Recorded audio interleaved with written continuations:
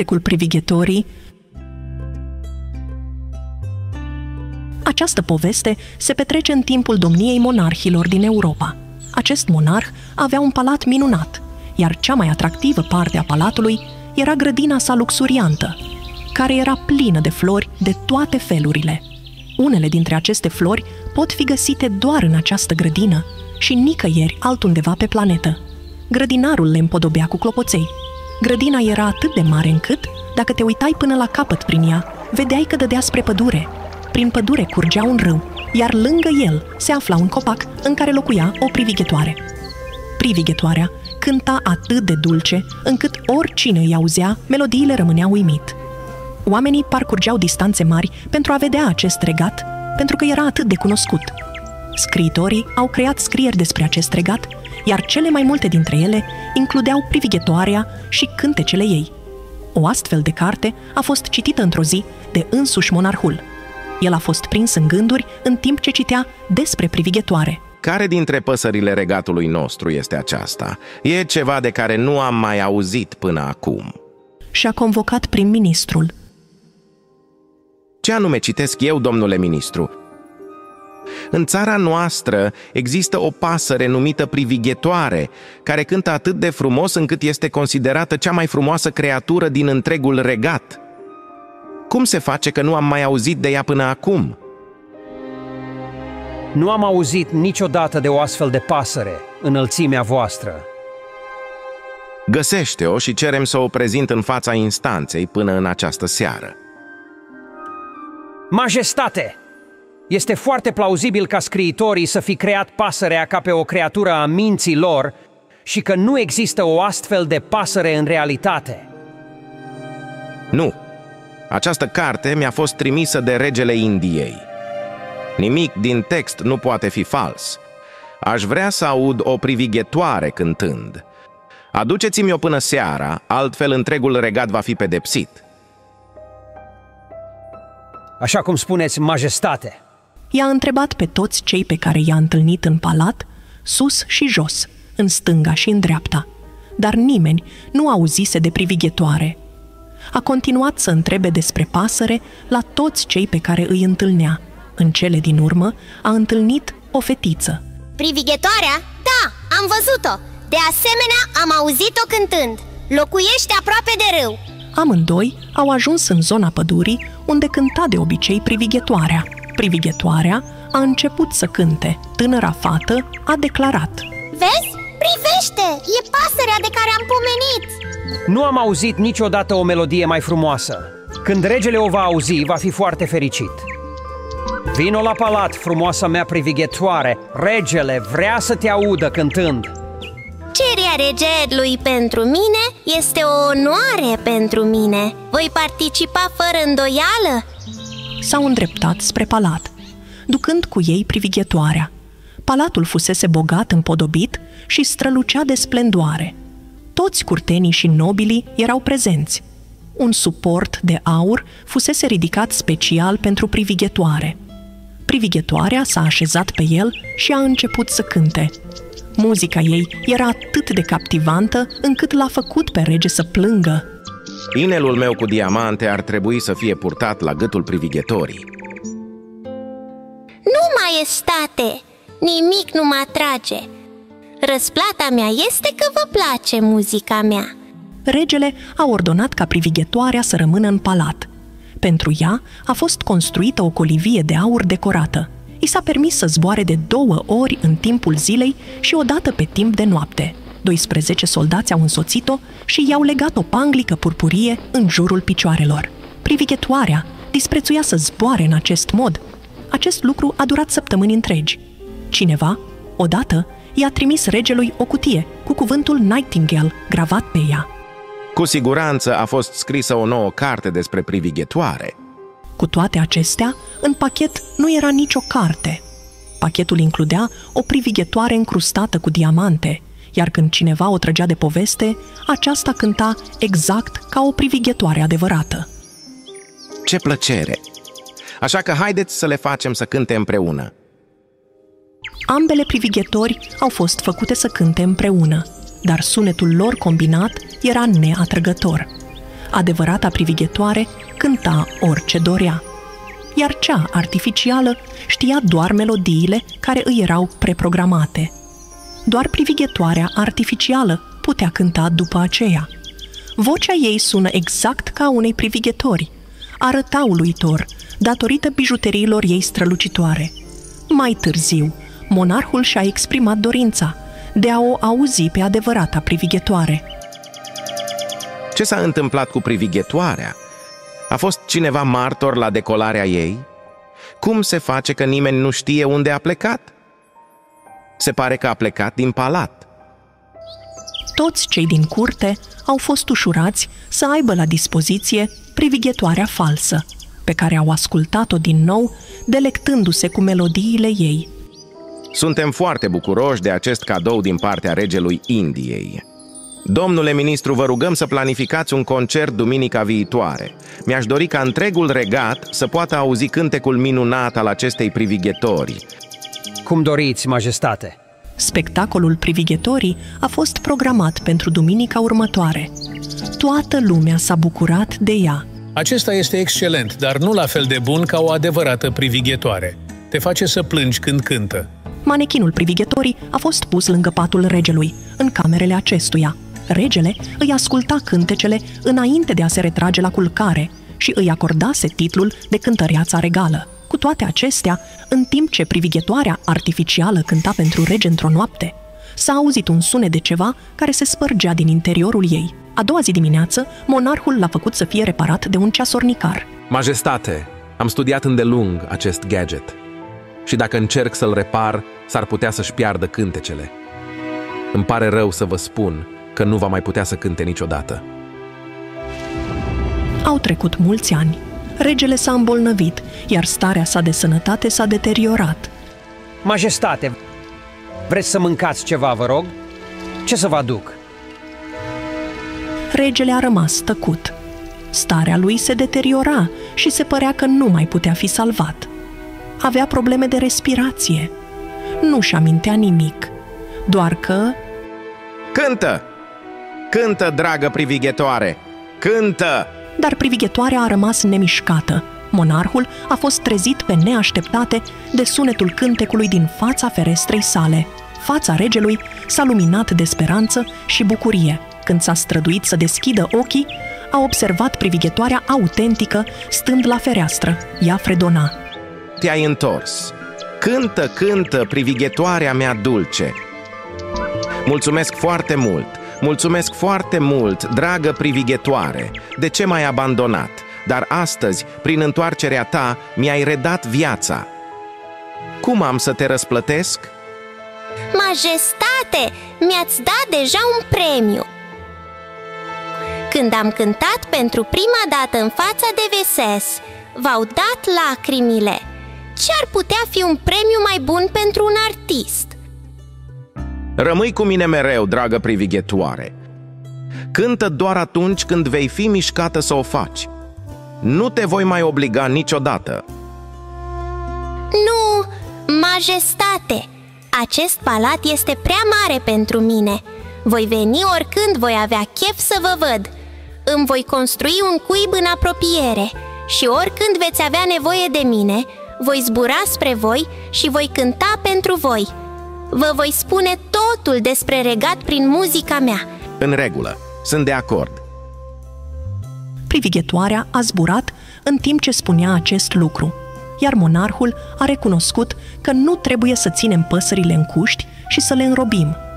Și ele au dreptul de a-și trăi viața așa cum cred ele că este potrivit. Nimeni nu are voie să înrobească pe nimeni, iar păsările arată cel mai bine, zburând libere și cântând în copaci și păduri. Sfârșitul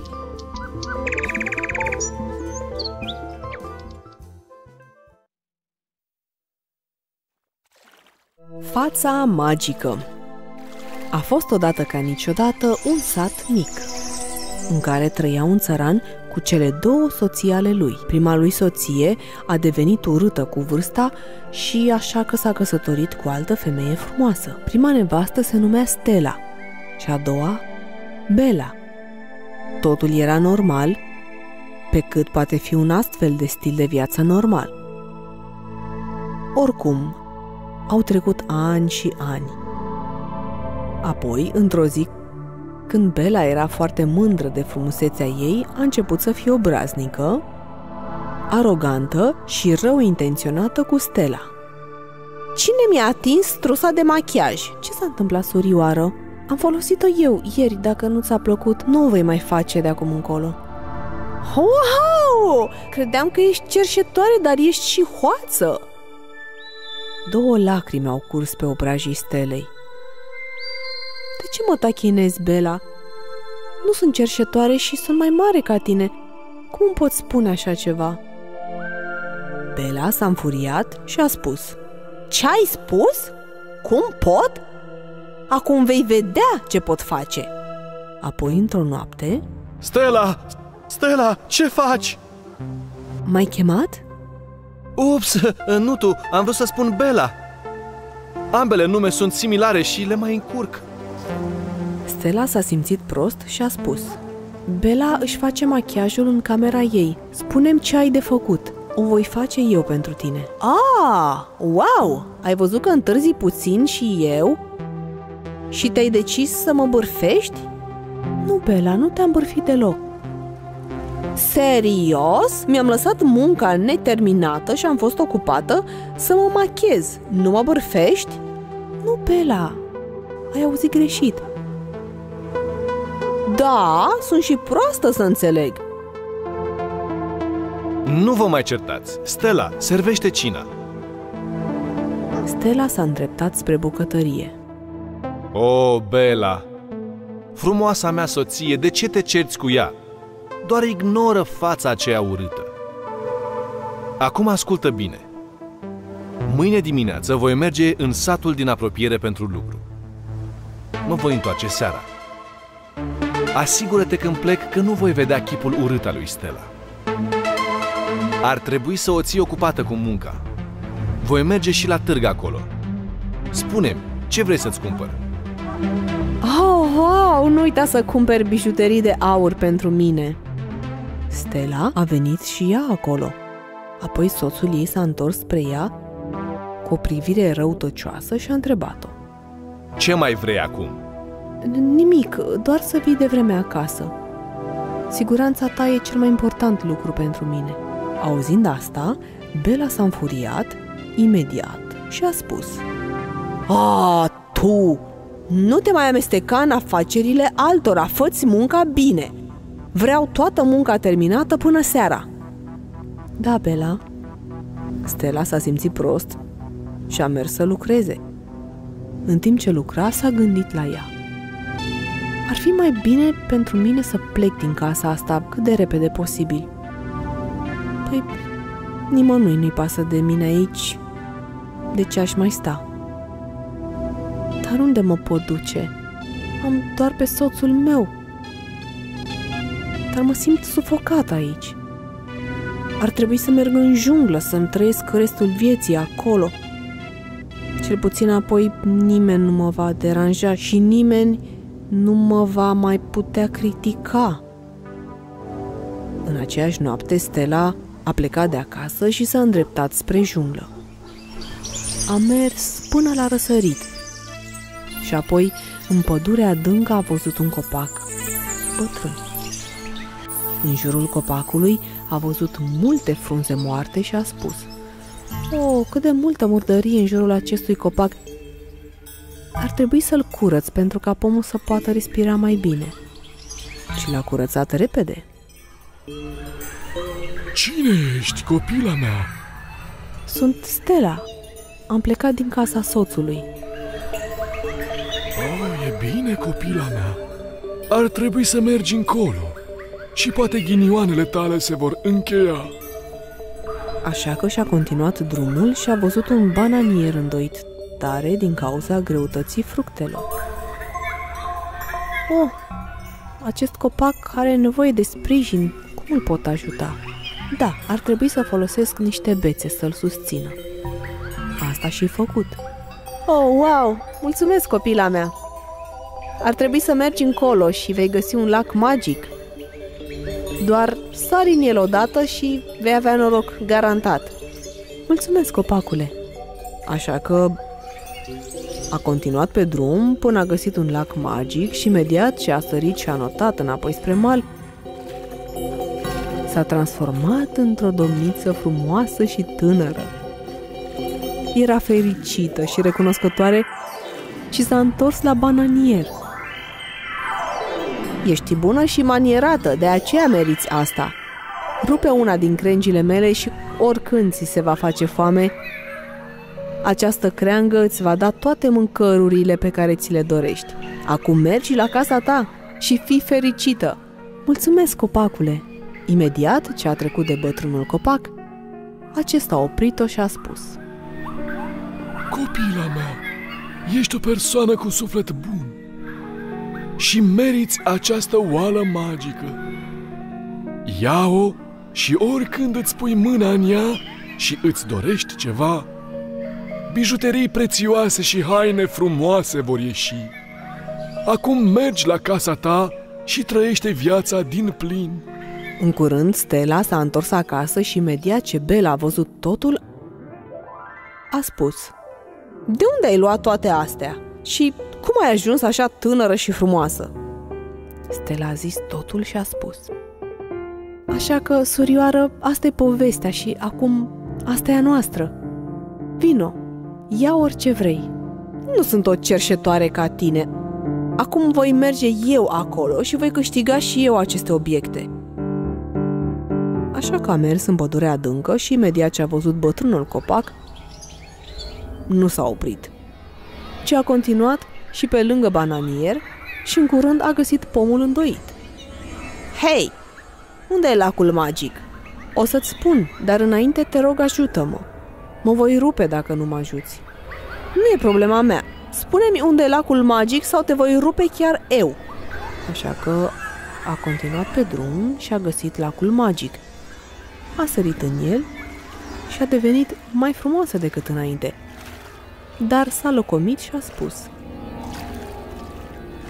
Dacă o baie mă face așa frumoasă, ce se întâmplă dacă mai sar odată? Așa că a sărit în el iar și de data asta s-a făcut urâtă și de frică a sărit de mai multe ori. Dar de fiecare dată era mai urâtă ca înainte și în curând părea să aibă cel puțin 100 de ani. Și s-a necat în apă. Numai apoi, când soțul s-a întors, a văzut-o pe Stella. A văzut că Bela nu mai era acolo. A fost fericit că nu mai era. Și au trăit fericiți până la adânci bătrâneți. Sfârșit. Regina nerăbdătoare a fost odată ca niciodată într-un regat îndepărtat regele Robert, care locuia cu frumoasa lui regină Maria. Robert era adorat de întregul regat pentru că era un lider bun, dar soția lui era displăcută deoarece era foarte nerăbdătoare. Îți ia prea mult să-mi faci codițele. Îmi pare rău, majestate, dar această coafură este dificilă. Cum îndrăznești să vorbești așa cu mine? Pleacă imediat din palat! Oh, Maria, de ce ai făcut asta? Se străduia din greu. Nu a fost suficient de rapidă. Trebuie să ai răbdare, iubirea mea. Uneori, nerăbdarea reginei strica pacea și săracul rege trebuia să repare problemele iscate de către ea. Uite, Maria, am ceva ce știu că îți va plăcea. Crini, preferații mei, dă-mi acum! Regele Robert se întreba cum putea să o facă pe soția lui să înțeleagă că trebuie să fie răbdătoare. Într-o zi, pășea prin curtea castelului gândindu-se la Maria. Nu înțeleg. Era mult mai drăguță și bună înainte să ne căsătorim. Atunci, regele Robert a observat ceva plutind pe apă. Ce e asta? Un bebeluș? De unde a venit? Oh, sărăcuțule, să mergem acasă. Serios? Unde e Robert? A plecat de mult timp. Maria, uite! Am găsit un copil plutind pe apă. Un copil? Dar cum a ajuns acolo? Uite, un bilețel! Oricine îmi găsește copila, vă rog să aveți grijă de ea. Regele și regina erau fără cuvinte, dar au acceptat responsabilitatea și cadoul copilului prețios. Regele a adorat copila și s-a decis să o aducă la palat. Te vei chema Diana. Diana era un copil călduros și iubitor și cu ani a ajuns să fie o domniță frumoasă.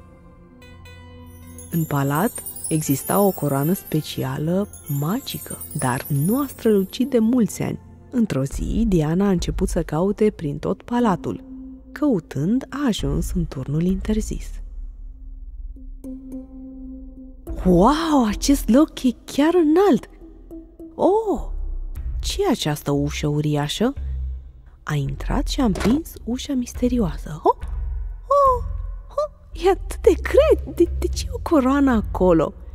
Când s-a apropiat, coroana a început să strălucească subit. Cel mai bine să-i spun mamei și tatălui despre asta. Diana, ți-am zis să nu intri acolo. Dar era o coroană acolo și strălucea. Strălucea? Strălucește? Oh, atunci sunt atât de fericit pentru tine. Nu înțeleg. O să-ți spun când vei fi puțin mai mare. În timp ce regele era fericit, regina era supărată pe acea coroană. În acea noapte s-a furișat din palat să meargă la o vrăjitoare pe care o cunoștea. Nu-ți face griji, trebuie doar să pui acest inel pe degetul soțului tău. Magia din el îl va face să o rască pe Diana. Maria a fost de acord și a plecat. În următoarea zi a pus inelul pe degetul soțului său. Mai apoi, după ce s-au trezit, Tată? Mamă? Am făcut un tort pentru voi! Regele Robert s-a uitat la Diana și a dat din umeri. Magia începea deja să funcționeze. Diana! Oh, îmi pare rău, am vrut doar să gustați din acel tort pe care l-am făcut eu. Este mult prea sărat! Poftim? Nu, mie mi se pare dulce. Magia din inel făcea ca tortul dulce să aibă gust rău pentru rege și asta le ruina prietenia în continuare. Într-o zi frumoasă, Diana a vizitat camera în care se afla legendara coroană. Este o coroană foarte frumoasă, mă întreb cum mi-ar sta cu ea. Voi fi purtată doar de către cei demni. Cine, cine ești? Sunt legendara coroană. Întreabă-mă orice vrei să știi. Păi, bine, vreau să știu ceva. De ce se comportă așa ciudat părinții mei în ultima vreme? Coroana i-a spus Dianei despre inelul magic. Deci tatăl meu nu mă urăște, e doar o vrajă, dar mama este... Nu, nu mama ta vrea coroana, ci vrăjitoarea. Mama ta e nerăbdătoare, dar este o femeie bună. Coroana i-a spus Dianei că vrăjitoarea vrea să conducă regatul cu puterile ei, dar asta a fost riscant pentru ea și așa că a vrut să o controleze prin Maria. Dar cum putem rupe vraja de deasupra mamei? Regina trebuie să o rupă singură, învățând să aibă răbdare. Dianei i-a venit o idee. Mama mea adoră crinii. Poate dacă învață cum să îi crească și să aibă răbdare, vraja se va rupe. Dar cum îi pot lua? Întreabă-mă și îl vei primi prin magia mea. Folosind magia coroanei, Diana a creat o grădină de crini frumoși roz. Dar în curând regina a numit grădinari să aibă grijă de ea. Oh, nu, nu asta trebuia să se întâmple.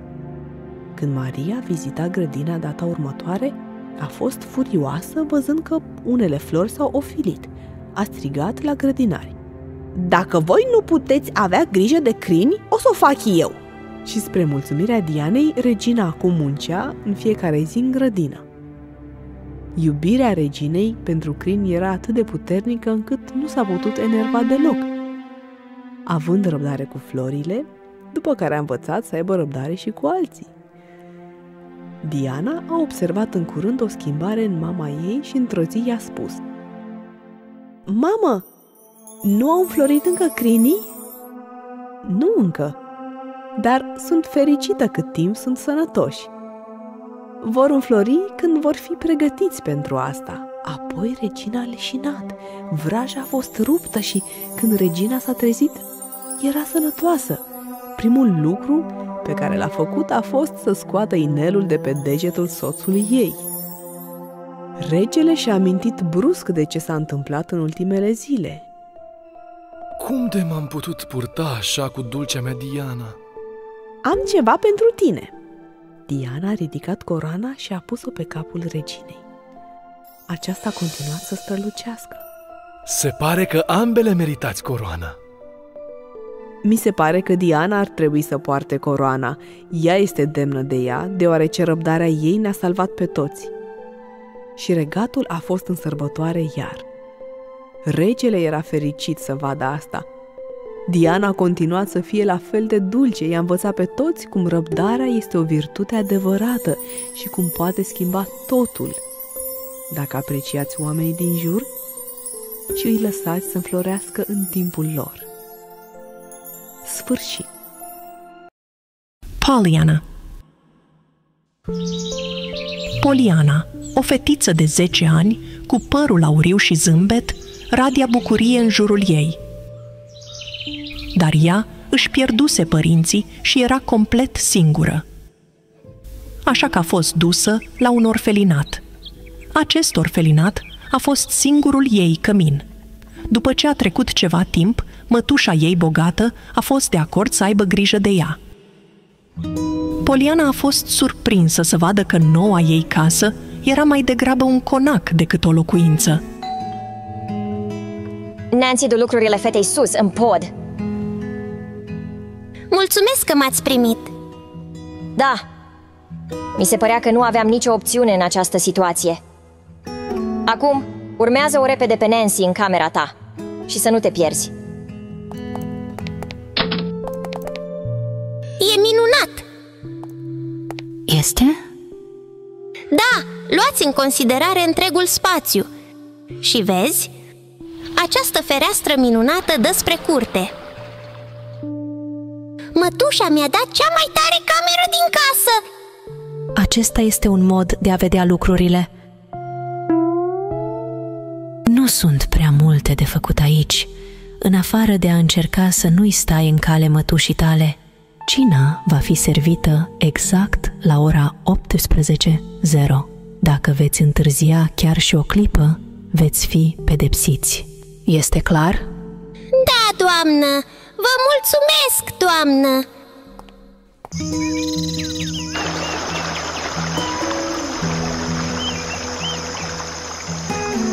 Ce casă superbă am! Mami și tati v-ar plăcea la nebunie aici! Este deja 6.02 p.m. Poliana, unde ești? Poliana! Poliana! Cina a început în urmă cu aproximativ 5 minute. Când mătușa ta va pune mâna pe tine, vei avea mari probleme. Îmi cer scuze! Am pierdut numărătoarea timpului. Totul este foarte minunat aici! Ai întârziat! Am admirat florile superbe și norii. Ați observat că este o zi frumoasă afară? Nu-mi pasă! Avem reguli aici.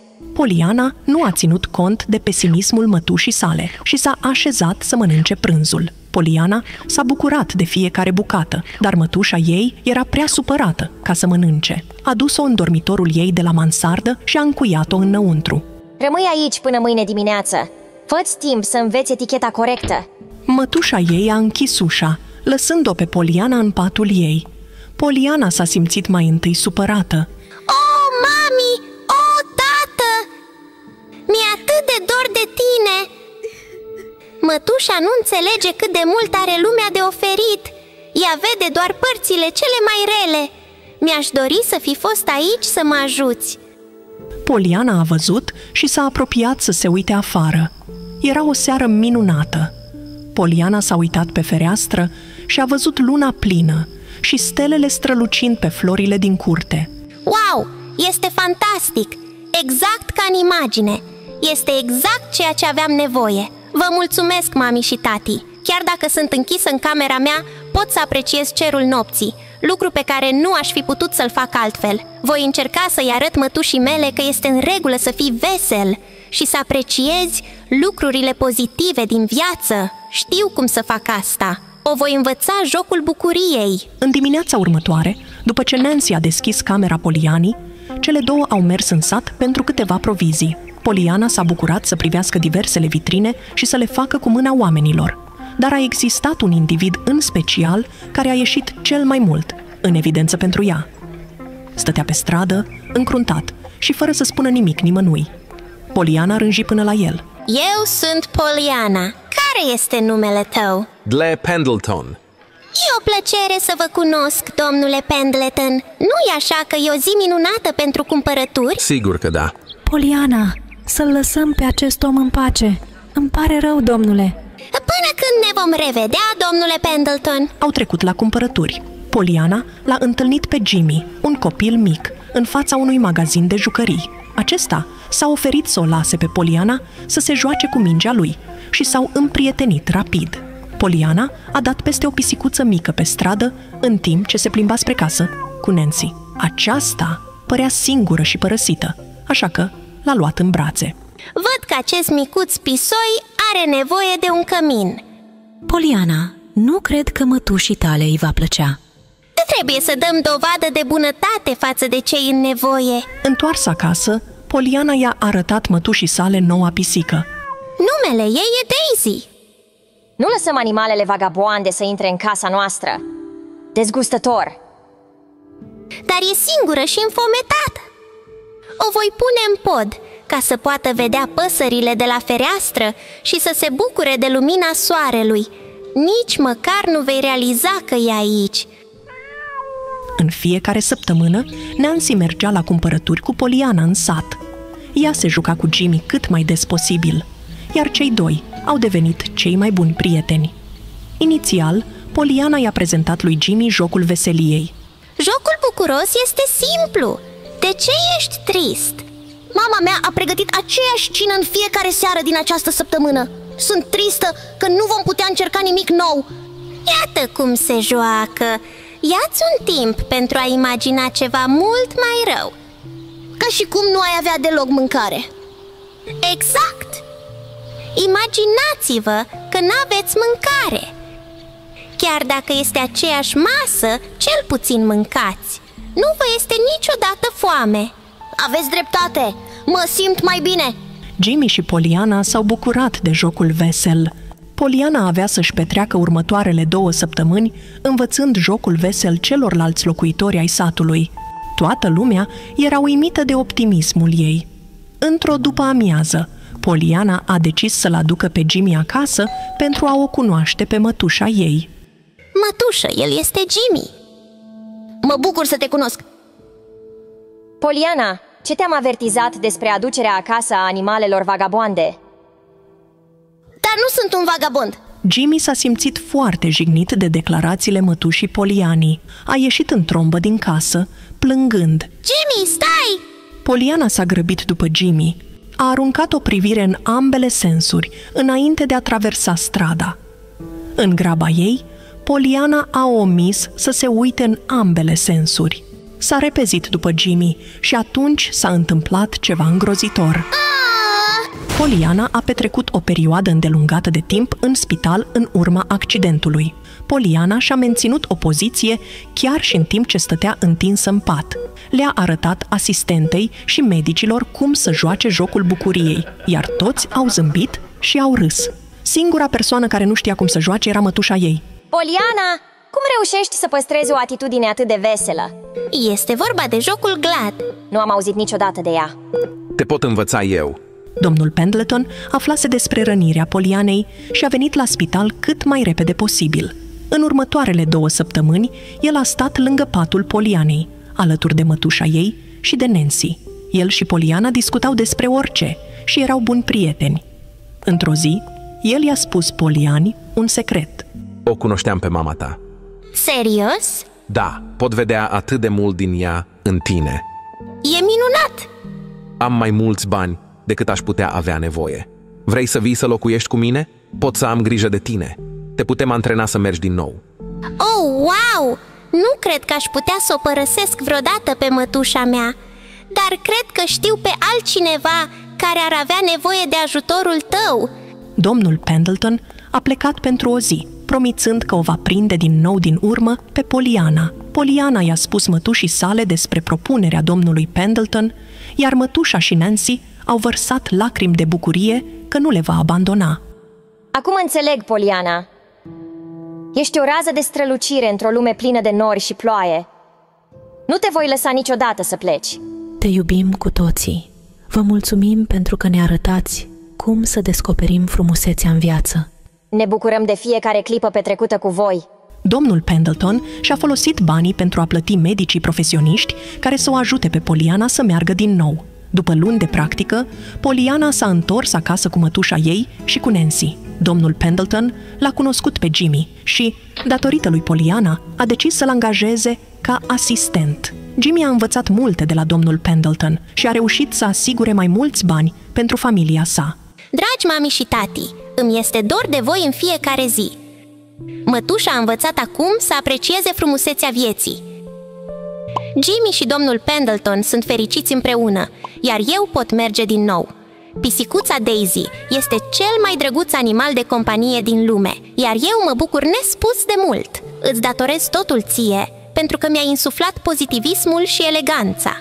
Dacă nu mi-aș fi pierdut capacitatea de a merge, nu aș fi realizat cât de mare este binecuvântarea de a mă putea deplasa independent.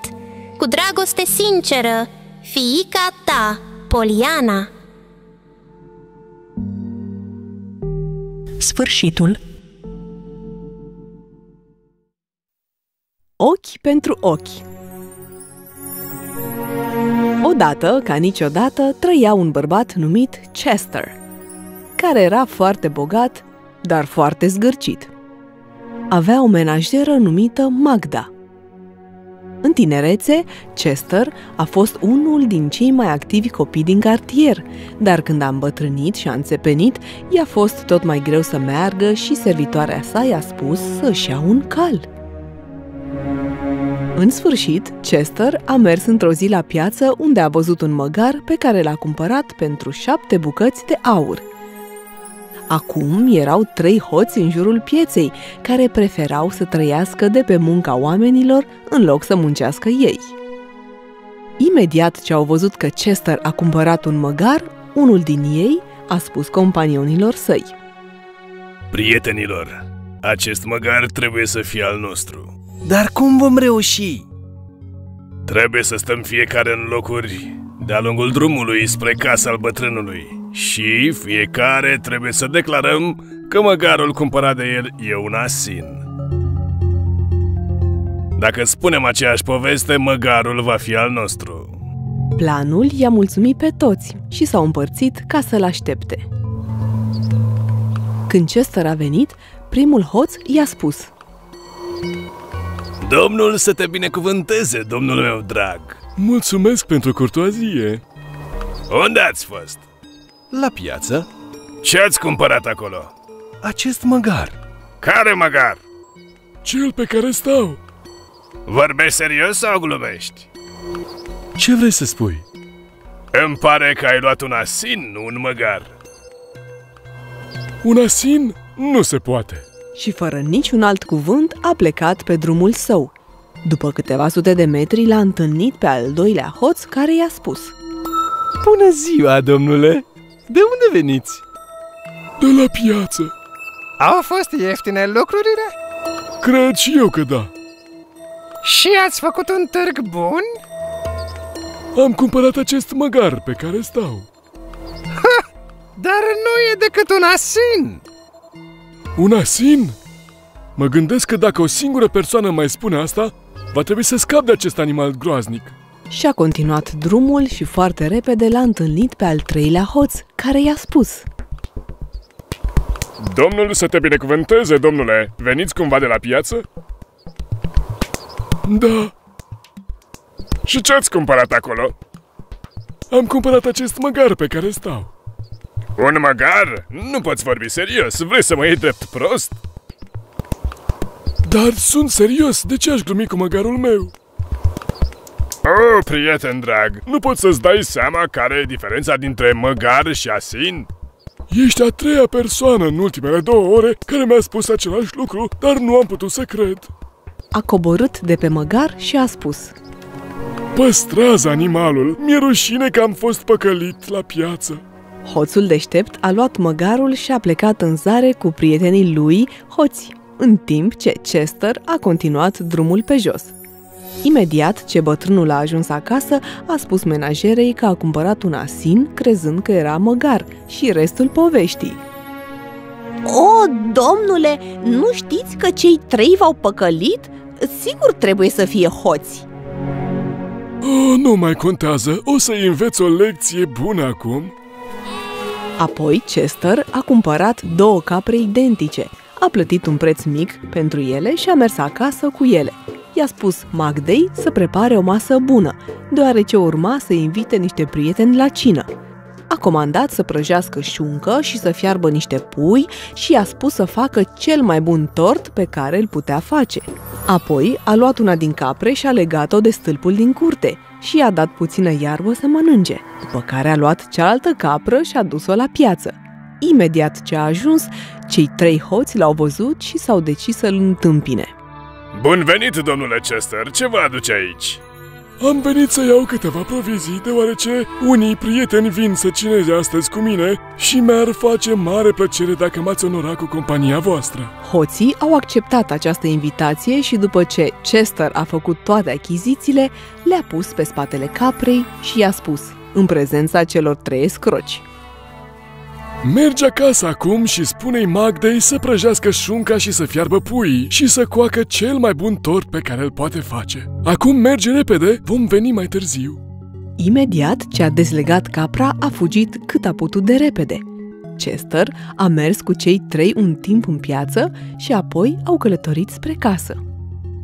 Când el și invitații lui au intrat în curte, au văzut că capra legată de stâlp mânca iarbă liniștită – au fost șocați de asta, deoarece au crezut că e aceeași capră pe care Chester a trimis-o acasă cu provizii. Imediat ce au ajuns la casa lui, Chester i-a spus menajerei. Păi, Magda, ai făcut ce i-am spus capre să-ți spună? Femeia inteligentă a înțeles stăpânul și a spus Sigur că da, șunca este prăjită și puii sunt fierți E bine, când cei trei au văzut mâncarea gătită și carnea în cuptor și au auzit vorbele Magdei, au fost uimiți și au început să discute despre cum pot cumpăra capra. În sfârșit, spre finalul mesei, unul din ei i-a spus lui Chester. Gazda mea demnă, trebuie să ne vinzi nouă capra. Chester i-a spus că nu era dornic să scape de capră, deoarece nicio sumă de bani nu poate compensa lipsa ei. Dar, dacă sunteți hotărâți, aș putea să o dau pentru 50 de bucăți de aur. Hoții au plătit 50 de bucăți de aur de îndată și au plecat din casă veseli, cu capra lângă ei. Când au ajuns acasă, le-au spus soțiilor. Nu găti cina mâine până nu trimitem mesagerul acasă. În ziua următoare au mers la piață și au adus pui și apoi au împachetat spatele caprei vorbitoare și au spus ce mâncare vor ca soțiile lor să pregătească. Imediat ce capra a fost dezlegată, a fugit cât putea de repede. Când s-a apropiat ora cinei, cei trei au mers acasă și și-au întrebat soțiile cum e cu cina. Oh, proștilor! Cum ați putut crede pentru o secundă că această capră ar face munca unei menajere servitoare? Ați fost păcăliți pentru ce ați făcut și voi altora! Asta e ce se numește ochi pentru ochi! Sfârșit! Dacă v-a plăcut această poveste, apăsați butonul Magicianul și Vioara Într-un tărâm îndepărtat locuia un magician malefic împreună cu papagalul său vorbitor – el avea ambiția de a conduce întreaga lume. Urma să meargă în multe regate pentru a le controla. Pentru asta și-a instalat o bază în pădurile din regate. Într-o noapte întunecată, magicianul era ocupat să facă vrăji ca să-și sporească puterea. Ha, gata, acum e timpul ca acest regat să fie al meu. Ar trebui să ies afară și să plantez această sămânță magică în pământ. Stăpâne, înțeleg că faci magie, dar de ce trebuie să plantezi semințe în fiecare regat? Nu ai înțelege, mica mea pasăre. Fac asta pentru ca cei din acest regat să rămână sub controlul meu, chiar și când eu nu sunt prin preajmă. Vrei să spui că toată magia ta se află în semințe? Ai înțeles acum? După ce magicianul și papagalul au îngropat sămânța, s-au întors la colibă. Atunci au auzit sunetul melodios al unei viori, iar magicianul s-a uitat în jur să vadă de unde vine muzica. Hei, papagalule! De unde vine această muzică? Du-te și află! Da, stăpâne! Papagalul a zburat ca să afle de unde vine muzica. Apoi s-a întors repede la stăpânul său cu informații noi. Stăpâne, sunetul melodios al viorii vine de la o fată frumoasă care pare să plângă. Să mergem să aflăm misterul din spatele plânsului și al muzicii. Magicianul malefic s-a transformat mai întâi într-un prinț chipeș, apoi s-a apropiat de fată. E miezul nopții. De ce stai aici singură plângând în această pădure deasă? Nu sunt singură, am vioara care îmi ține de urât. După ce părinții mei au murit, frații mei au încercat să mă mărite cu un bețiv bogat pentru bani. De aceea sunt aici, stând în pădure. Înțeleg. Cum te cheamă? Pot rezolva această situație foarte ușor. Sunt magician. Ai vrea să te căsătorești cu mine? Numele meu este Saloni. De ce să nu mă căsătoresc cu tine? Arăți ca un prinț chipeș și pari să ții la mine. Mă voi căsători cu tine. Cu o singură condiție. Trebuie să cânți la vioară în timp ce eu fac magia. De ce nu? Aș putea cânta la vioară pentru partenerul meu de viață pentru totdeauna. Papagalul s-a bucurat să audă asta. Cine se căsătorește? Stăpânul meu se căsătorește! Ha, ha, ha! Magicianul și fata s-au căsătorit. Zilele au trecut și fata și-a surprins soțul făcând magie neagră. Apoi și-a dat seama de intențiile lui malefice. A încercat să-l convingă să nu folosească magia în scopuri răvoitoare. Te-am văzut făcând magie neagră ieri. Ce vei avea de câștigat dacă controlezi mințile oamenilor? Voi face ceea ce cred că este corect. Data viitoare, dacă te mai bagi în magia mea, îți voi prinde sufletul în capcană. Papagalul a încercat să calmeze situația. Calmează-te, stăpâne! Dacă soția ta se supără, nu va mai cânta la vioară. Magia ta va eșua fără muzica ei. Îmi doresc să fiu cel mai puternic bărbat din lume. Dar acest lucru e posibil doar atunci când cânți la vioară. Când sunt captivat de melodii, pot face magie. Refuz să fac asta! Când a refuzat să cânte la vioară, magicianul i-a scos colierul de la gât și i-a prins sufletul în el. Apoi a mers pe o stâncă și l-a aruncat într-o prăpastie. Am aruncat colierul care conține sufletul tău într-o prăpastie. În ziua în care tu sau altcineva va găsi acel colier, vei scăpa de sub controlul meu. Abia atunci mă voi opri din a face magie neagră. Cum îi poți face asta propriei tale soții? Acum, draga mea, vei face ce-ți spun. Începe să cânți la vioară. Fiecare respirație a ta este acum controlată de mine. Doamne, de ce m-ai aruncat în foc? Nu există o persoană bună în lume care să mă poată ajuta cu adevărat? A început să plângă. Într-o zi, în timp ce cânta la vioară, a observat un sac. S-a apropiat să-l inspecteze. A găsit în el niște semințe ciudate. Când a atins una, sămânța a început să vorbească. Îți mulțumesc că m-ai atins. Am fost legată de magician. Atingerea ta m-a eliberat de sub controlul său. Cum vine asta? Magicianul mi-a prins sufletul, m-a amenințat că mă va distruge dacă nu îl ascult. Nu am avut liber arbitru până nu m-a eliberat. Te rog să-mi spui dacă ai nevoie de ajutor. Saloni s-a gândit la ce a spus sămânța. Sufletul meu este prins într-un colier care zace într-o propastie. Te voi arunca acolo, iar tu te vei transforma într-un copac înalt. Colierul meu va fi prins în ramurile tale și astfel pot ajunge la el. Da, desigur, voi face exact cum spui, doar să ai răbdare până vine ziua aceea. A doua zi, magicianul și papagalul au călătorit în alt regat. Mergând prin pădure, magicianul se gândea. La ce te gândești? Mă gândesc dacă Salonii ar putea avea un plan pe la spatele meu. Îți amintești? Ești magician! Sunt sigur că ai un mod de a afla!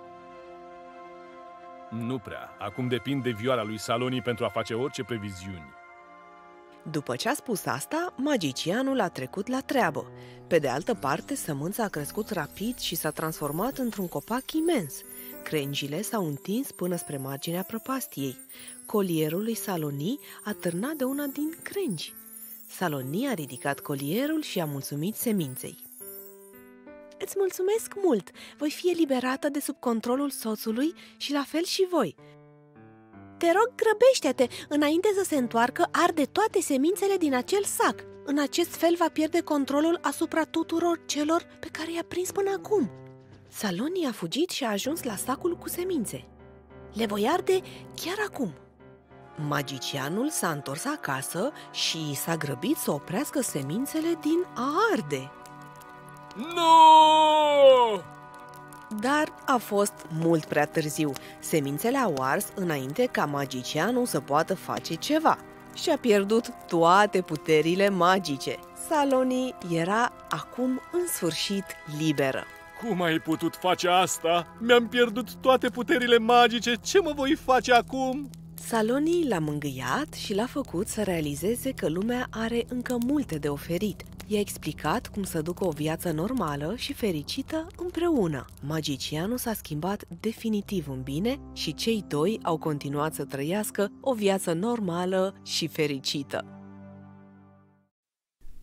Lacul Lebedelor Această poveste începe cu mult timp în urmă, când prințesa Elizabeth se întâlnea cu pețitorii ei pentru a-și găsi mirele cu care să se căsătorească. Regele Eric era unul dintre ei. Nu era tocmai chipeș. Prințesa Elizabeth se plimba prin cameră vorbind cu toți pretendenții și își făcea păreri. Când a ajuns la Eric, l-a privit și a avut o expresie de dezamăgire. Eric s-a simțit jignit și a blestemat-o. Prințesa Elizabeth! Ești atât de mândră de frumusețea ta încât te-ai strâmbat pentru că nu mă ridic la standardele tale? Te blestem! De acum înainte nu vei mai fi prințesă. Te vei transforma într-o lebădă. Elizabeth și tatăl ei și-au făcut griji la auzirea acestor cuvinte. I-au cerut iertare lui Eric. Prințule Eric, am greșit, te rog să ai milă. Prințule, te rog să o ierți. E foarte tânără și imatură, de acolo provine insolența. Te implor, te rog să-ți retragi cuvintele, viața fiicei mele va fi distrusă. Prințul Eric a început să se calmeze. Iartă-mă, rege, din păcate nu-mi pot retrage blestemul, dar îți pot oferi soluția pentru a o elibera de blestem. Dacă un bărbat se îndrăgostește de fica ta, când aceasta e încă lebădă, blestemul va fi rupt. Încă ceva, e important ca cel ce se îndrăgostește de ea să nu știe nimic de blestem, altfel nu va funcționa. Imediat ce a terminat de vorbit, prințesa Elizabeth s-a transformat în lebădă. A fost apoi dusă pe malul unui lac de la marginea regatului. Anii au trecut și prințesa tot aștepta să vină cineva care să o iubească așa cum era. Au venit mulți la lac, dar plecau după ce admirau peisajul și lebăda. Au trecut mulți ani. Încep să-mi pierd speranța că voi putea scăpa de acest blestem. Poate merit să fiu așa pentru tot restul vieții. Poate asta este pedeapsa mea. În acea seară, un tânăr călător pe nume James a venit să stea la marginea lacului. Era așa gălăgie în oraș. Aici e atât de liniște. Mi-aș dori să pot trăi aici pentru totdeauna. James era un bărbat de clasă mijlocie și nu avea familie. Se simțea liniștit stând aproape de lac. S-a odihnit acolo o vreme, apoi a auzit o voce. Ce faci?" Vocea vine din mijlocul lacului. Poate că îmi țiuie urechile. Nu? Auzi bine. Privește lacul. Sunt eu, lebăda.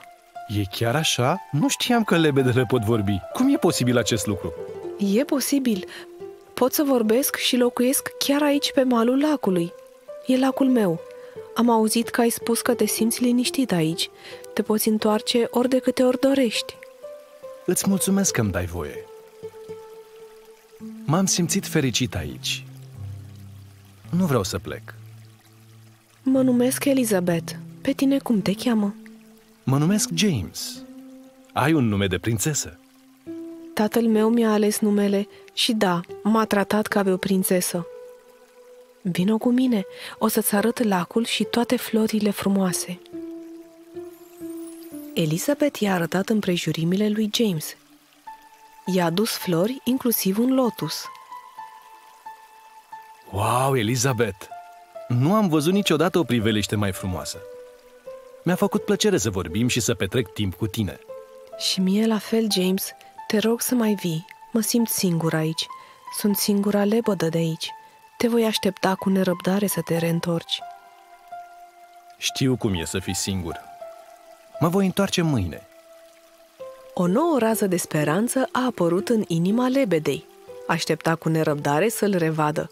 Firea lui politicoasă și cuvintele amabile au impresionată. A doua zi, James s-a întors la aceeași oră. A fost încântată să-l revadă. James, te-am așteptat. Ai ajuns la timp. Soarele va pune în curând și este o priveliște superbă dinspre lac. Am așteptat cu nerăbdare să revin aici. Am venit imediat ce mi-am terminat treaba. Ai dreptate. Este o priveliște frumoasă. Au privit apusul împreună. James părea fericit. Elizabeth, ai avut dreptate. E o priveliște de neuitat. Voi veni zilnic să o văd cu tine. Da, James, este de neuitat. Iar când cineva este singur, este greu să se poată bucura de o așa frumusețe. Știu ce simți, Elizabeth, dar te rog să nu te consideri singură. Sunt aici cu tine. Voi fi aici pentru tine indiferent de situație. Când l-a auzit pe James spunând aceste cuvinte, Elizabeth a început să plângă de fericire. A înțeles în sfârșit cum e să fii iubit. Elizabeth s-a atașat de James și a dat seama că e un suflet bun și este mai prețios decât frumusețea, bogăția sau statutul. Ceea ce contează cel mai mult este o fire bună și sinceră. James s-a atașat și el de Elizabeth, dar își punea deseori întrebări. Ar înțelege și accepta o lebădă iubirea lui? Într-o zi, James nu a mai venit la lac. Elizabeth a devenit anxioasă și își făcea griji pentru bunăstarea lui. Nu a putut dormi în acea noapte. Dar James unde e? Poate a pățit ceva, Doamne, ține-l în siguranță. În următoarea zi, James a venit la lac după amiază, mult mai devreme decât de obicei. Văzându-l, Elizabeth a spus James, unde ai fost ieri? Nu mi-ai spus că nu vei veni. Mi-am făcut griji pentru tine. E totul bine? În viitor, nu mai dispărea așa fără să-mi spui, te rog. Ai idee cât am fost îngrijorată? O, oh, nu, iartă-mă, Elizabeth. Am fost plecat cu munca. M-am întors abia dimineață. Îți promit că nu mai plec fără să-ți spun. Nu se va mai repeta. Nu am vrut să te îngrijorez. James era încântat în secret că Elizabeth își făcea griji pentru el. În afară de mama lui, nimănui nu i-a păsat vreodată cu adevărat de el. Respectul și iubirea pe care le simțea pentru lebădă au crescut și mai mult. S-a decis să-i spună ce simte pentru ea.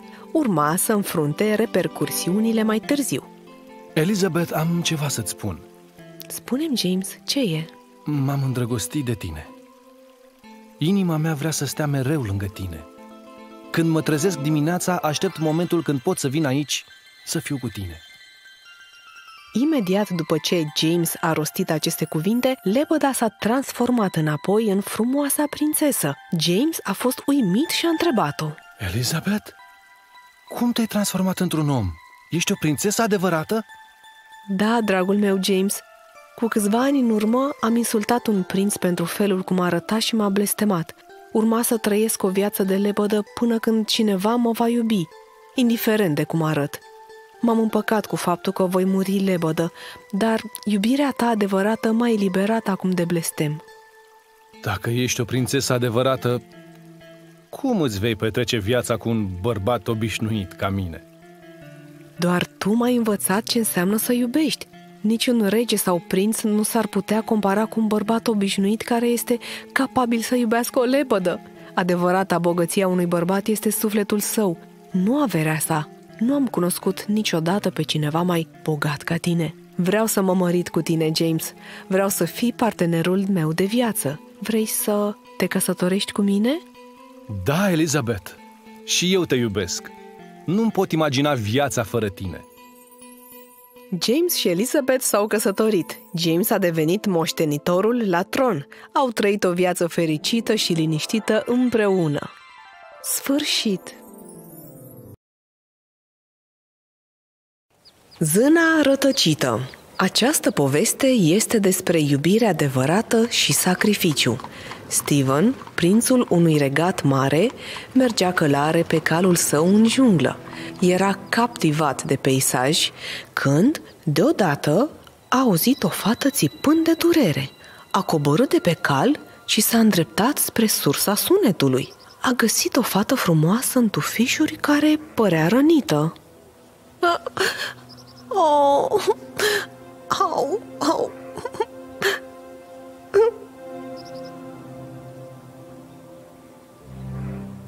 Uh, uh, îmi amintesc numele sunt Daisy, dar nu știu cum am ajuns aici. O față înfricoșătoare m-a atacat, dar nu mi-amintesc nimic din ce s-a întâmplat apoi. Nu mă pot mișca. Te rog să mă ajuți. Te rog, ajută-mă.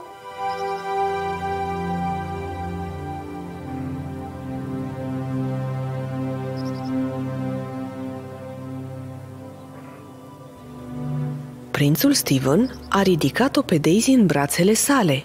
Au plecat împreună apoi spre palat, călare pe al său cal.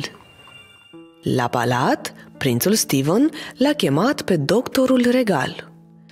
Ei bine, medicul a ajuns imediat și a început să o consulte și să o trateze. A, a, a,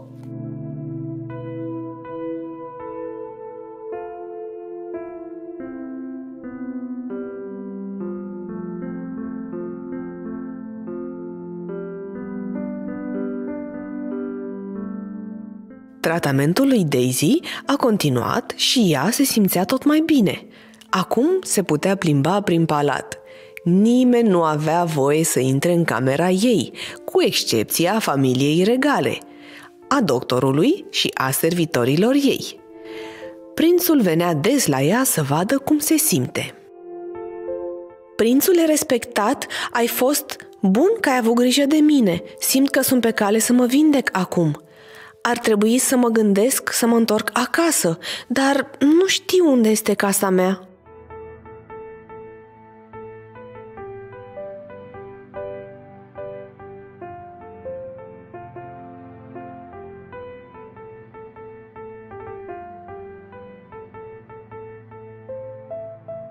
Steven și Daisy s-au cunoscut tot mai bine.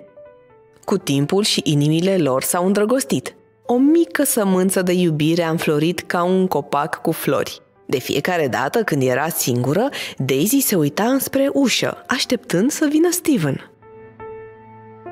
Steven, încep să simt că ar trebui să rămân aici pentru totdeauna. Nu vei mai găsi niciodată pe cineva ca tine. Nu pot să te părăsesc.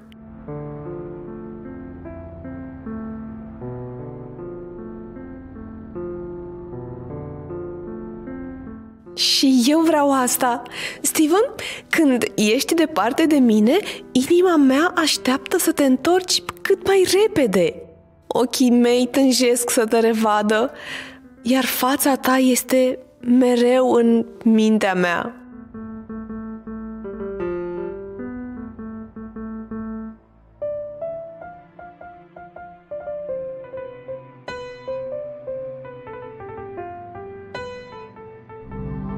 Într-o noapte, un obiect zburător a aterizat lângă palat. Două zâne au ieșit din el. Prințul Steven era șocat. Zânele au zburat direct în camera lui Daisy. Daisy, vino cu noi! Am venit să te ducem înapoi! Vehiculul nostru zburător este afară! Cine sunteți? Unde vreți să mă duceți?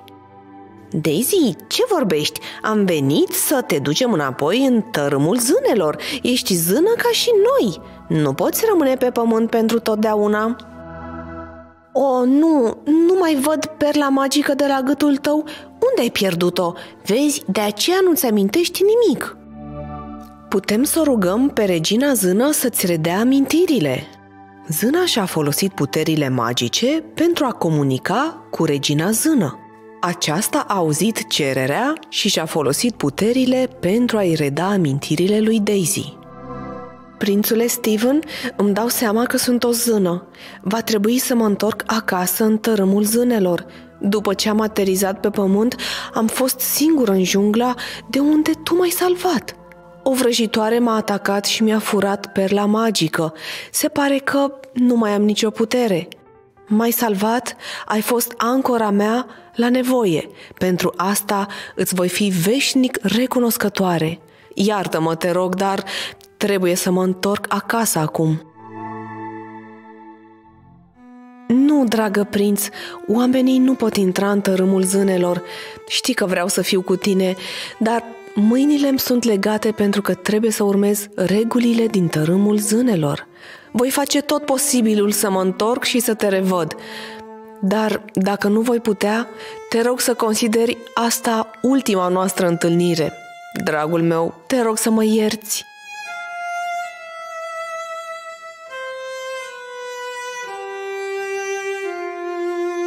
Chiar în acel moment, Daisy și-a deschis aripile și s-a transformat complet în zână.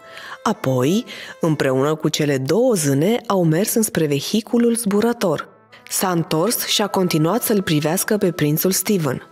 Vehiculul a decolat, lăsându-l pe Steven în urmă cu inima frântă. Daisy a aterizat în tărâmul zânelor.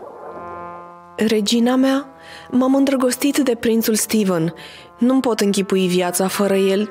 Te implor să mă lași să mă întorc la el pentru totdeauna.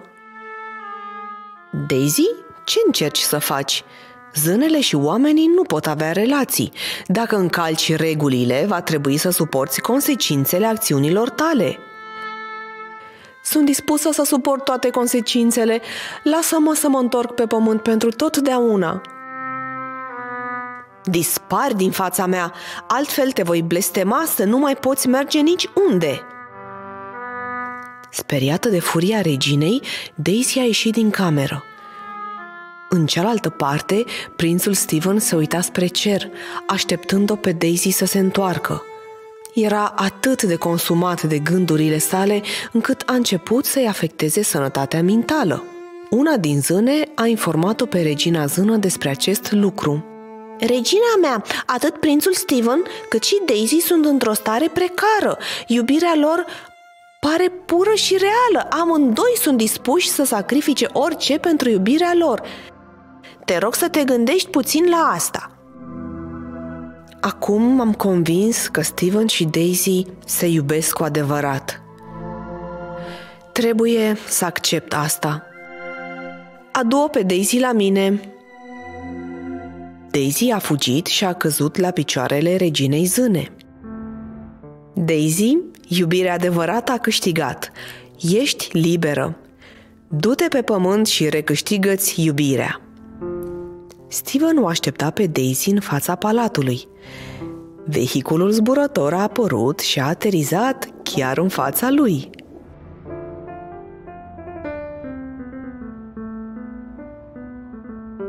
Creatorul a orchestrat uniunea noastră divină. Am câștigat recompensa pentru iubirea noastră adevărată și sacrificiu. Daisy s-a repezit în brațele lui Steven și l-a îmbrățișat. Iubirea adevărată a câștigat din nou. Cei doi s-au căsătorit și au dus o viață fericită împreună. Sfârșit! Micul prinț curajos și prietenul său această poveste începe în regatul Firoz Nagar. Regele și regina din Firoz Nagar s-au decis să meargă la o plimbare cu trăsura. lăsându-l pe fiul lor de 12 ani, Angad Kumar, la palat. Calul a alunecat, iar regele și regina au căzut din trăsură și au murit. Tânărul prinț avea acum responsabilitatea de a conduce regatul întreg, dar exista un ministru care nu prea era mulțumit de asta. Acum că regele și regina nu mai sunt, prințul este împovărat de această responsabilitate uriașă. Tronul prințului Angad nu este altceva decât o acoperire. Eu voi fi de fapt cel care va conduce, voi percepe taxe mari locuitorilor acestui regat și voi câștiga bani mulți. Primul ministru a cerut o întâlnire cu restul ministrilor. Prințul Angad a fost încoronat într-o ceremonie deschisă publicului. Cetățenii erau mulțumiți de decizie. Trăiască regele Angad! Trăiască regele Angad! Ascultă, șef al securității, adună pe toți membrii curții. Da, domnule prim-ministru, ne ceru să venim? Da, regele Angad este prea tânăr să poată lua decizii importante de unul singur. Orice decizii voi lua de acum înainte, acestea vor fi considerate importante și finale. Nu vreau să am parte de nicio opoziție din partea cuiva. Dacă protestați, am autoritatea să vă condamn și la moarte. Restul miniștrilor nu au avut de ales și au dat din cap că sunt de acord. Apoi, prim-ministrul a chemat-o pe dădaca regelui Angad. Da, domnule prim-ministru? Trebuie să ai grijă de regele Angad. Asigură-te că nu duce lipsă de nimic. De asemenea, ar trebui să participe cât mai puțin la întâlnirile de la curte. Dădaca obișnuia să aibă grijă bine de regele Angad. Ea avea un fiu de 15 ani pe nume Vijay, care o însoțea mereu. Vijay se juca des cu regele Angad. Fiul ei era foarte deștept și avea grijă de nevoile regelui Angad. Cum reușești să fii atât de bun la scrimă? Te-a învățat vreun profesionist? Nu, regele meu, nu m-a învățat nimeni. Am învățat singur privind gardienii. Mă poți învăța și pe mine? Da, de ce nu? Te voi învăța totul. Încet și cu răbdare, Vijay l-a învățat pe regele Angad tot ce știa.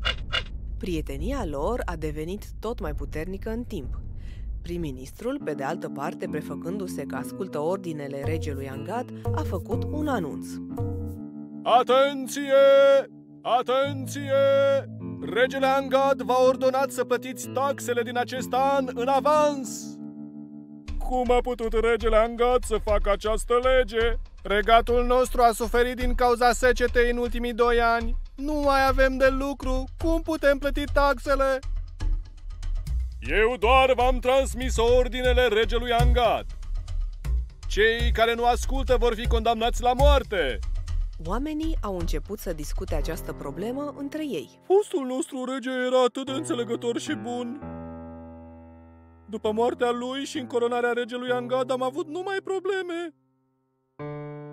Da, dar cum va funcționa asta vreodată? Trebuie să vorbim cu regele Angad. Între timp, în palat, regele Angad și Vijay erau ocupați cu sportul. Vijay a luat o pauză și a mers în curtea regală. L-a văzut pe prim-ministru lovind un localnic cu un boț, apoi l-a auzit vorbind. Ai crezut că poți veni aici să-l vezi pe regele Angad și să-i spui planurile mele? Nu știi că el este rege doar de fațadă? Eu voi fi adevăratul conducător al acestui regat. Doar eu. Prim-ministru a dat apoi o comandă. Luați-l și duceți-l în temniță! Vijay a auzit totul și a mers și a spus totul mamei sale. Mama, știi ce se petrece aici? Prim-ministrul face nedreptăți în numele regelui Angad. Da, fiule, știam de asta. Dar ce putem face? Dacă îi spunem regelui Angad despre asta și primul ministru aude ceva, vom fi condamnați la moarte.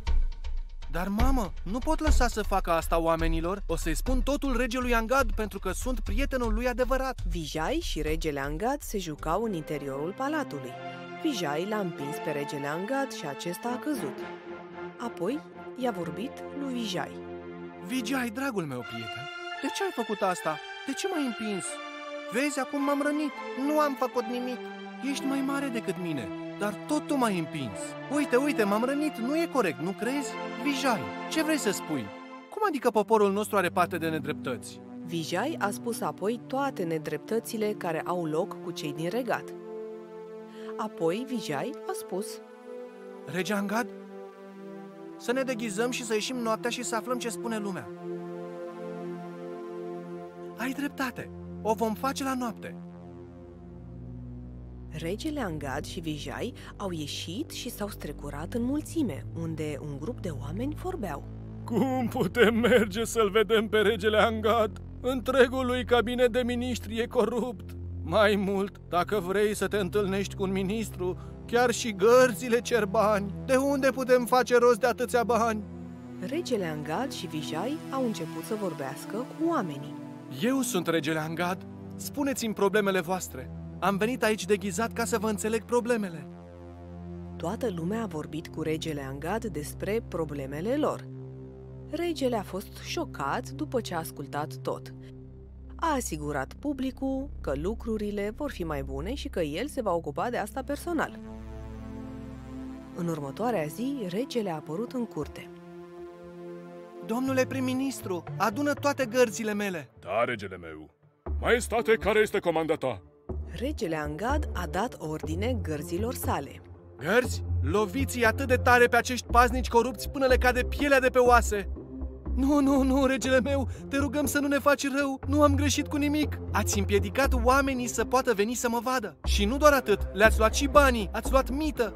Nu, nu, regele meu, prim-ministrul ne-a ordonat să facem asta. Dacă nu îl ascultam, ne-ar fi condamnat la moarte. Nu, nu, rege Angad, nu am făcut așa ceva, ei inventează minciuni. Gărzi, arestați-l pe acest ministru corupt și bateți-l până când tremură de durere. Regele Angad a făcut un anunț publicului. Toată lumea a fost scutită de la plata taxelor până la sosirea musonului. Vijay i-a spus Trebuie să ne asigurăm că cabinetul nostru este format doar din miniștri onești. Trebuie să începem să mergem și în țările învecinate ca să ne întărim relațiile. Astfel putem evita războaie și conflicte. Regele Angad și Vijay au plecat în țările învecinate cu o echipă de miniștri onești. Le-a oferit prietenia conducătorilor de acolo, iar regatul era condus acum într-un mod eficient și transparent. Oamenii aveau în sfârșit parte de pace și de o viață fericită. Prințesa cu regrete cu mult timp în urmă, într-o zi furtunoasă, în palatul lui Maharaja din Maharashtra s-a născut o mică prințesă pe nume Garima. Pentru a-și exprima fericirea, regele și regina au împărțit aur, argint, nestemate și perle celor din regat. Timpul a trecut și Garima a împlinit șase ani. Într-o zi a venit cu o cerere ciudată la mama sa. Mamă, vreau să-mi aduci luna și stelele. O, draga mea Garima, ai nebunit? Cum poate cineva să ia stelele de pe cer? Regele a ieșit din camera lui chiar în acel moment. nu te supăra, draga mea. Vrei stelele? Îl voi trimite pe slujitorul meu să ți le culeagă. La porunca regelui, slujitorul a mers și a adus câteva stele din hârtie. După ce le-a primit, prințesa Garima a fost încântată peste măsură. Mulțumesc, tată, ești cel mai bun! Nu m-ai dezamăgit niciodată! Ah, regele meu, ai răsfățat-o prea tare. Cine știe ce va face în viitor? nu e adevărat. Cu cât va crește mai mult, cu atât va deveni mai matură. În sfârșit a sosit ziua în care prințesa a împlinit 16 ani. Cu toate acestea, nu și-a schimbat atitudinea sau obiceiurile. Ea a continuat să certe servitoarele și să le insulte. Le trata oribil. Într-o zi, o servitoare a intrat în camera lui Garima cu un desert cu lapte. Trăiască prințesa! Regina a trimis acest cher pentru tine. A spus să-l mănânci cât timp este cald. Bine, pune-l jos și pleacă, o să-l mănânc mai târziu. Îmi cer iertare, dar regina a insistat să-l mănânci acum. Garima s-a ofensat și a aruncat castronul direct în fața servitoarei. Cine ești tu să-mi spui mie ce să fac? Pleacă de aici!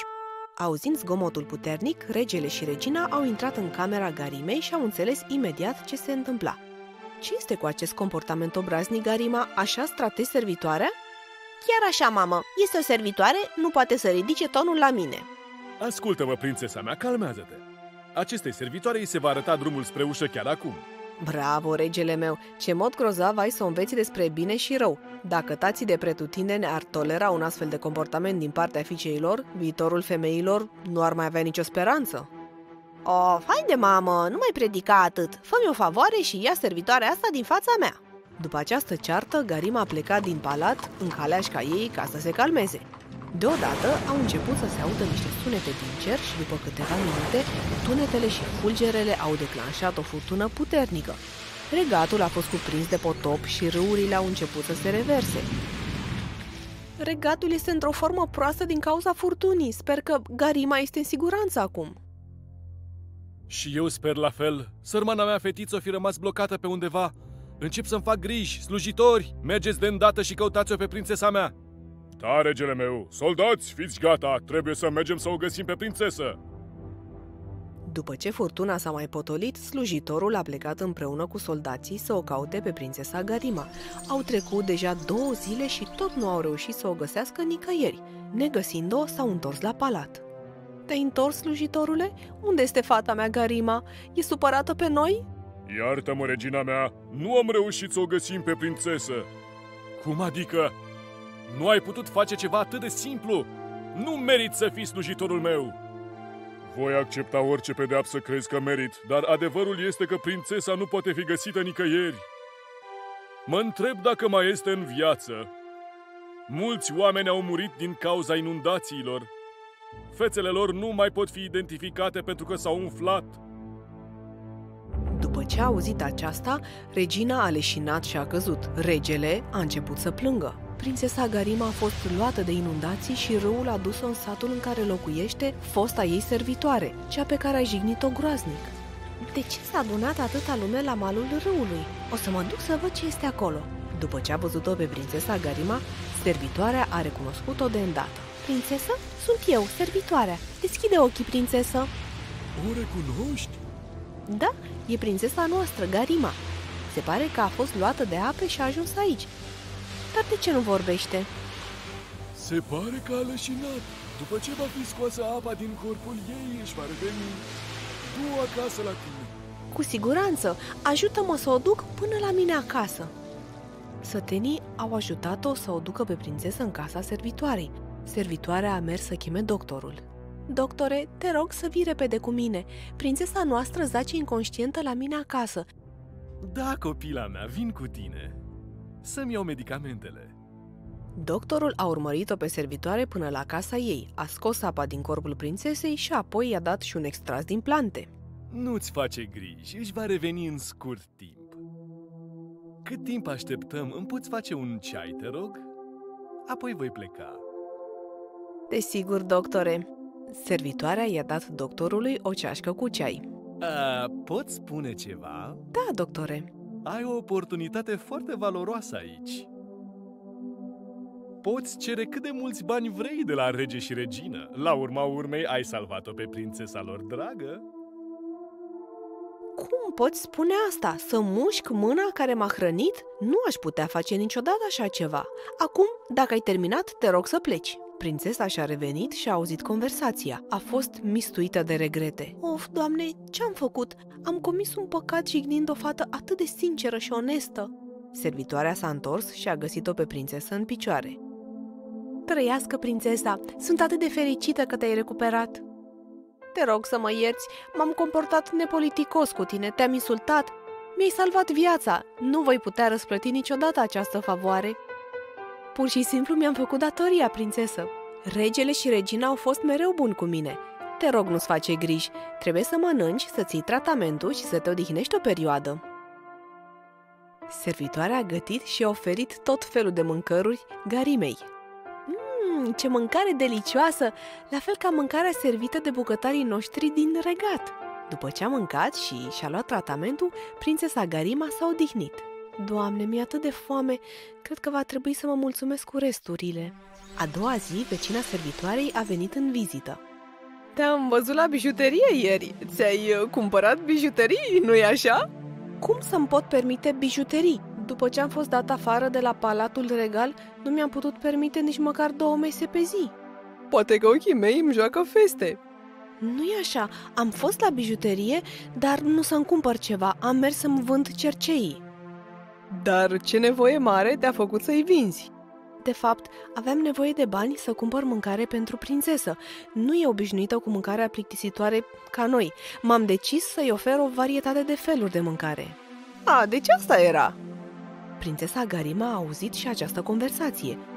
Între timp, regele și regina au ajuns la casa servitoarei însoțiți de doctor. Ți-ai semnat moartea răpind-o pe prințesa noastră. Unde te ascunzi? Arată-ți fața! Servitoarea și prințesa au ieșit afară când au auzit vocea regelui.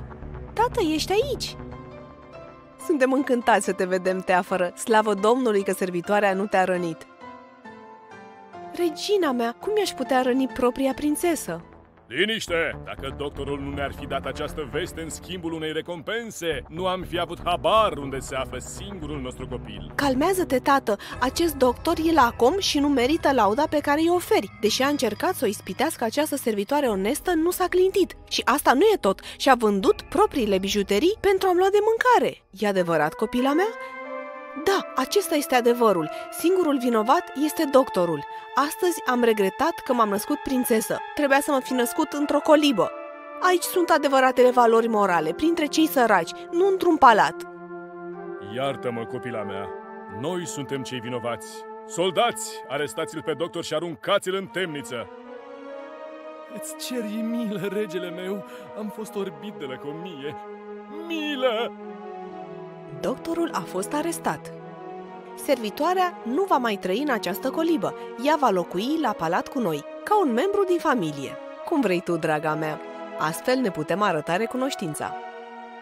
Cei patru au trăit fericiți la palat multă vreme de acum înainte. Sfârșit!